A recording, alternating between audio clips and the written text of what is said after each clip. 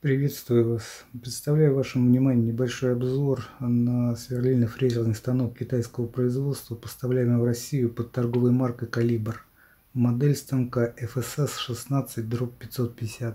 Данный станок относится к классу хоббийных, имеет множество как полных аналогов, так и схожих по размеру конструкции моделей, продающихся по всему миру в классе мини-фрезерных станков под разными торговыми марками. Станок поставляется в фанерной коробке полностью собранным, за исключением ручек маховиков, которые необходимо прикрутить самостоятельно. В комплекте со станком поставляется трехкулачковый сверлильный патрон хвостовиком конус Морзе 3 с возможностью зажима сверла от 3 до 16 мм, комплектом из четырех шпилек э, с Т-образными гайками для прижима тисков, пазам рабочего стола, той масленкой, а также набором инструмента для обслуживания наладки станка, который поставляется в небольшом пластиковом чемоданчике. Станок в основном изготовлен из чугуна и имеет массу 60 кг. Масса с транспортной упаковкой 80 кг.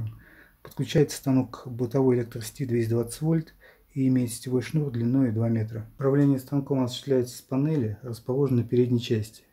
Панель оснащена кнопками «Пуск», «Стоп», совмещенной с кнопкой аварийной остановки, регулятором оборотов двигателя и световыми индикаторами подключенной сети и защитного отключения. Станок оснащен коллекторным электродвигателем мощностью 550 Вт. Имеет двухскоростную коробку передач. Обеспечивает вращение шпинделя в диапазонах от 50 до 1100 оборотов на первой передаче и от 120 до 2500 на второй с возможностью плавной регулировки оборотов потенциометром. Вращение шпинделя осуществляется только в одном направлении, без возможности реверса, например, для нарезания рейс. Несмотря на частично пластиковые шестерни, редуктор станка достаточно шумный, и на максимальных оборотах коробка передач издает сильный вой.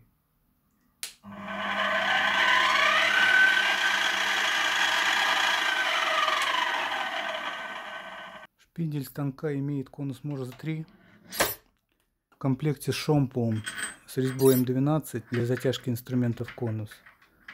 Верхняя часть шпинделя оборудована защитным колпачком. Размер рабочего стола составляет 460 на 112 мм. Имеет максимальный продольный ход 300 мм, поперечный 130 мм. Максимальное расстояние от стола а, до шпинделя составляет 180 мм. Колонна шпиндельной головки имеет возможность регулировки наклона в пределах а, плюс-минус 45 градусов, для чего имеется шкала с нанесенной разметкой.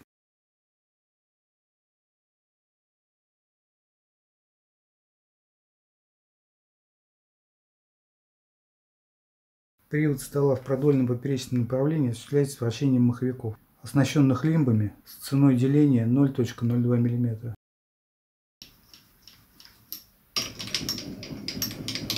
Регулировка положения высоты шпиндельной головки осуществляется штурвалом и имеет возможность подключения маховика точной подачи, оснащенный лимбом с разметкой ценоделения 0.025 мм. Для грубого контроля за продольным и вертикальным перемещением станок оборудован шкалами линеек и стрелками указателей положения.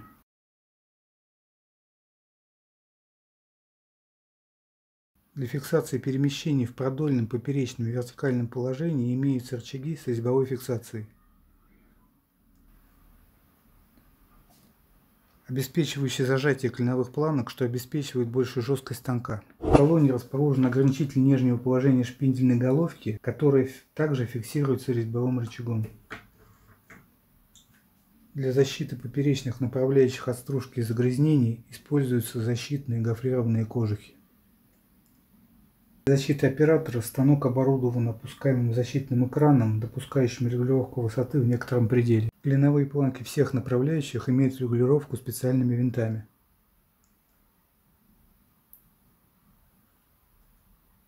Станина имеет сквозные отверстия для крепления к верстаку.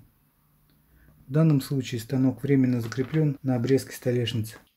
Углубление рабочего стола станка имеет штуцер, видимо изначально задуманный э, для отвода СОЖ. Но производителем данная функция не заявлена и конструкция станка вызывает сомнения о возможности полноценного для оборудования для использования СОЖ. Производитель заявляет данный станок как сверлильно-фрезерный малогабаритный настольный, предназначенный для фрезеровальных, э, сверлильных и шлифовальных работ с заготовками из металла, пластмасс и древесины. Станок рассчитан на повторно-кратковременный режим работы с номинальным периодом работы э, перерыва 15 и 5 минут соответственно. Максимально допустимые усилия, рекомендуемые производителем при работе на станке. Максимальный диаметр сверления 16 мм, максимальный диаметр кольцевого фрезерования 16 мм, максимальный диаметр торцевого фрезерования 30 мм.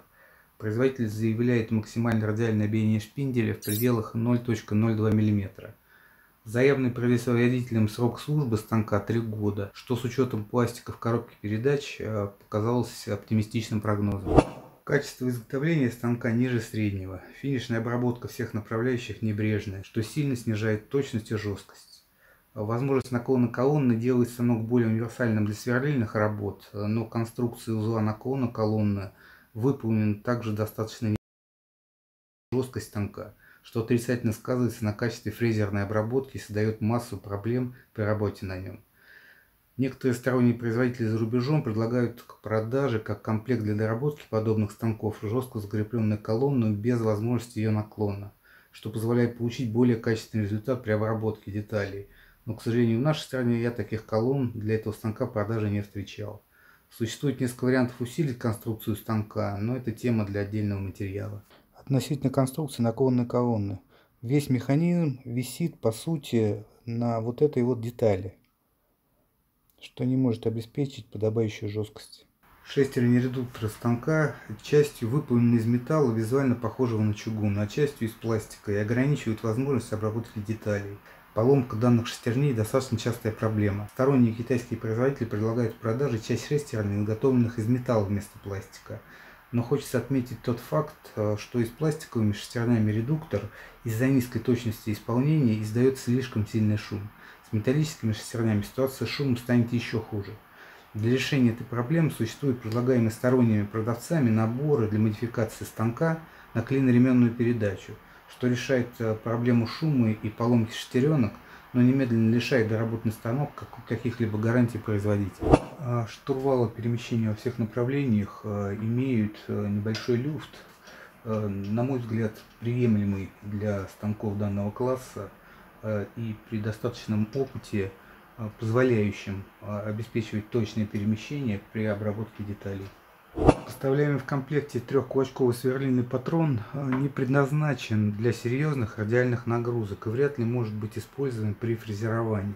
Для этих целей следует приобрести фрезы непосредственно с хвостовиком конус Морзе 3 или цанговый патрон с цангами подходящего размера.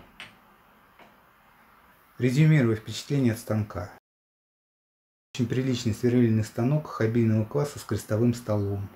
Но как фрезерный, без серьезных доработок, годен только для обработки пластика или легких работ по цветным металлам.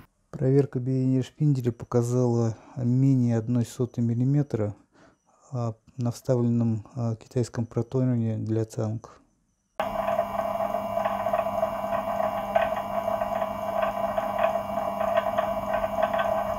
А вот так выглядит качество обработки поверхностей. Z. Все неплохо, шлифованное. Ось Y. Тоже все выглядит, в общем, неплохо. И ось. Просто фрезерованная, не шлифованная.